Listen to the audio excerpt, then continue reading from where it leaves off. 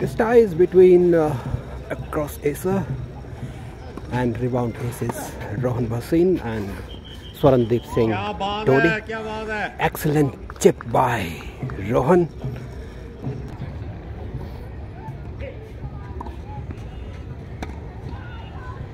Rohan serving for across acers.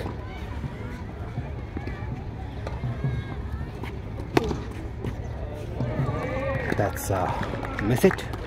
Probably wanted to put heavy top spin or kick in the serve. Rohan Bhasin, second service.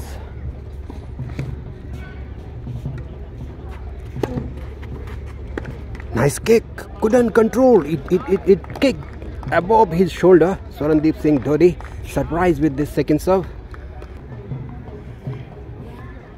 Very good playing conditions here in Joygaon. Rohan serving. Again a very good kick. Both are single-handed backhand player. Approached by Swarndeep Singh Dhodhi and uh,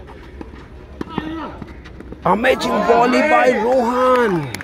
That's amazing point. Such a skillful player, Rohan Bhasin. Doing great job for his team across aces.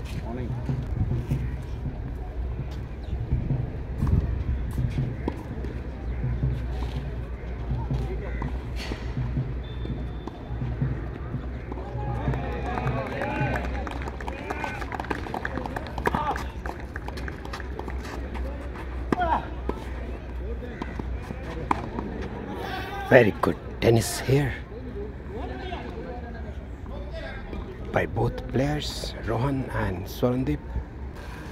Swarndeep Singh Dhodhi from rebound aces serving. Good service into the forehand. In the clay court, both players prefer kick serve and successfully executing their strategy. Rohan Bhasin. 16 points will be played in each tie.